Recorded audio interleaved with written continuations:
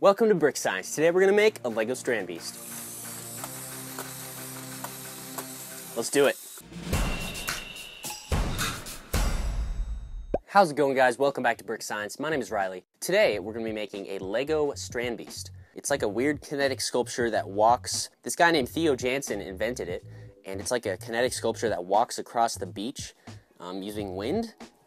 So here's one of the legs, a prototype of one of them. This part over here would represent the uh, drive shaft, which rotates, and then you have over here you can see the leg movement. It actually works better if we rotate that way. Basically, we'll have four, four or six of these um, on a on a creature. So when you roll it, it's actually going to walk. It's got like this really weird motion that is just so cool. And I don't. That guy's really smart. Theo Jansen is really smart because look at how cool that is. Anyway, this is the prototype. We're gonna make a couple more of these, attach them all together, and put a drive shaft on. And then when we roll it, it'll look like it's walking real weird across the table. So that's gonna be pretty cool. The first thing we gotta do is gather our pieces, and we'll get started. Let's do it.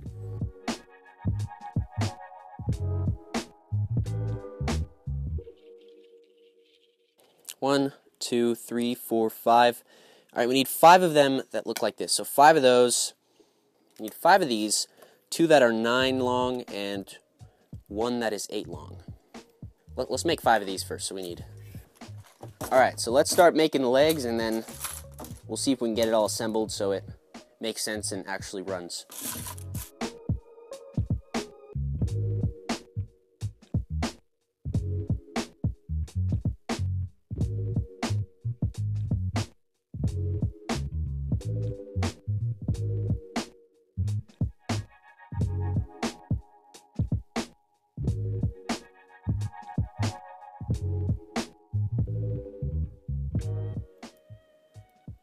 That looks kind of cool just like this when they fold in. Oh, that's nice. Yeah, this is going to be awesome. It's going to be like a weird spider thing. It's going to walk and it's just going to be like, yeah.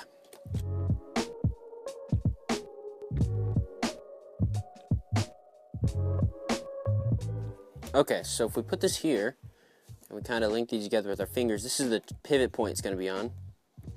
So you can see if we spin this area in a circle here, we get this kind of walking motion. Actually, I can lift it up. I'm dumb. So if we have this on a on a on the drive shaft, then it will basically walk like that. So we just need to do the same thing on this one, because um, apparently I did it wrong the first time. So there's that.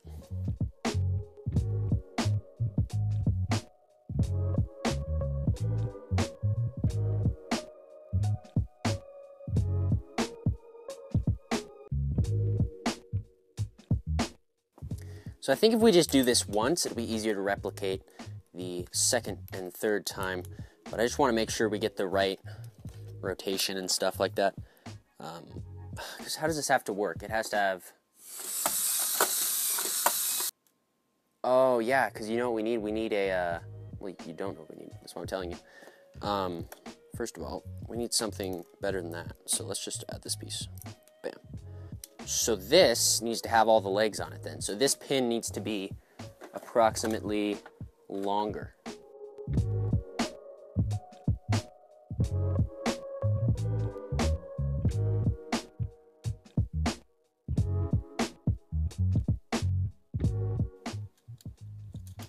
So we got to be careful not to be too close to it or too far away. There's kind of a middle point we got to connect these at. So what we need is then a, basically one of these. Nice. Okay, so then, look at that. Yeah, okay. So we're to do four legs on each side. But now we know what we're to do, so it'll be a lot easier. So we got to make those, and then we just got to add them all together. So super fast time lapse.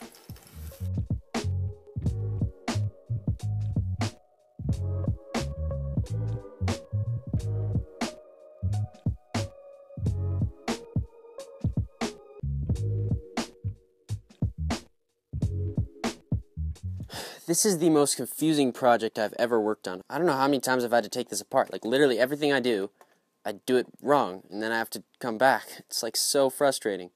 Oh my gosh, wrong again.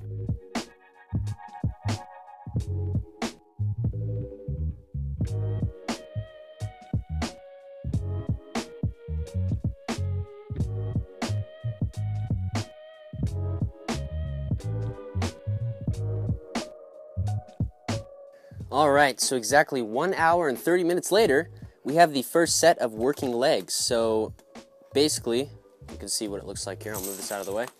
Uh, when you rotate this, it's on a drive shaft that has uh, little angles on it, if that makes sense, so you can see how that rotates. And I'm just I'm just spinning this back here. So basically, the plan is to connect the rest of the drive shaft like this. See, when we spin this, all of those are at different angles. So we're gonna have to make four sets of legs. So we need two more sets, and then this thing should walk walk on along. We're just gonna use different colors for the other ones. So we'll do white and then gray, and we'll just uh, see how it works.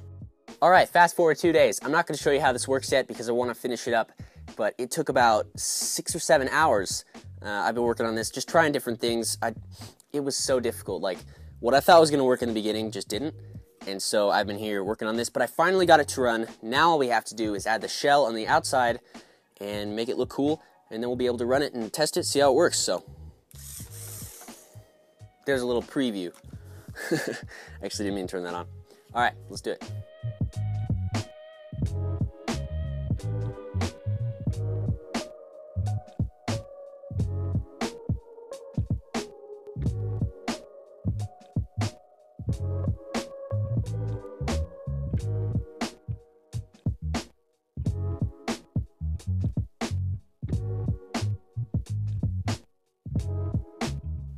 All right, here's the grand reveal.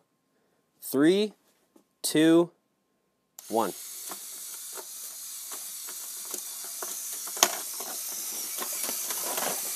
Give me one more minute. All right, guys, I just finished it. It's been about four days. Um, actually, had to finish it today because yesterday I tried to finish it twice, and it kept breaking. And the reason that was is because I just didn't have enough sturdiness on these legs, so I had to go in, replace some parts, and I actually had different plate variations, so the sides were going up and down and bending like this. But basically, in the end, here we go. Um, it's to walk forward, and here we go. And that is it. Look at that awesome walking motion there. It also goes backwards. I just switch this on before it goes off the table. Nice. And it doesn't break, which is super awesome. And if you can see, if I lift this up, you can see what the legs are doing. So if I actually turn this upside down, that's how the legs look. And so I actually have the ones in the middle alternating with the ones on the sides. So now if I turn this to on forward,